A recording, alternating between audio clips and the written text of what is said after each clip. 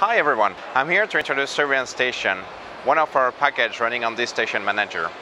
It's aimed to simplify your life when about monitoring, whether it's at home just checking your car in the garage, or maybe in a shop looking at your customer, or recording an entire airport with hundreds of cameras. So Surveillance Station is completely web-based, but we're also working on a dedicated client that will have better performance and will help you to get rid of eventual browser compatibility as well as uh, manage uh, different clients on the same computer. Let's focus on one of the core features of Surveillance Station, Live View. So you see here we got a four stream configuration, but if you want you can have, you can have up to 64 channel on a single view. And if needed, Surveillance Station will arrange everything automatically with the auto layout feature. You can have basic uh, management feature of your cameras, including PTZ, and for instance, here you got um, EMAP that will give you a physical location of your, all your cameras. Speaking of cameras, our camera management system is very comprehensive and will allow you to add camera whether by the unit or by batch.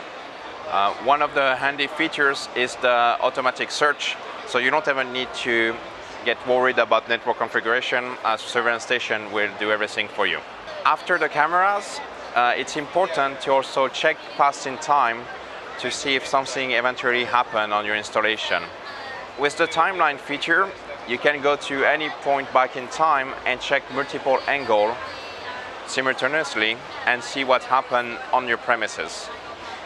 If you want to go further into camera analysis, you can use the Smart Search feature that will allow you to go back in time and maybe focus on only a single area to see if something happened this in the past. It was a very handy feature because for instance last year at Computex it allowed us to catch a thief on the booth using Smart Search. If you have a connected device, you can uh, use the I.O. module and the action rule to create your own rules, which are featuring a trigger and an event and maybe eventually a notification.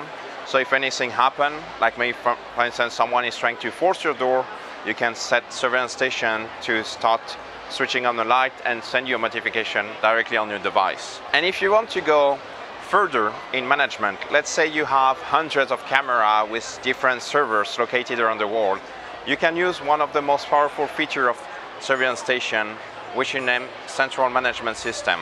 You will have to set up a centralized server and link all of the remaining server to this centralized server and that will allow you to manage everything from a single point of entrance. And finally, you can use uh, surveillance station on your mobile that will allow you to look at all your cameras and maybe compress the stream in case you got limited bandwidth and receive push notification to make sure you don't miss anything again. Okay, that's all for today for Surveillance Station. If you want to know more, you can check our website synology.com or our social media. Thank you for watching.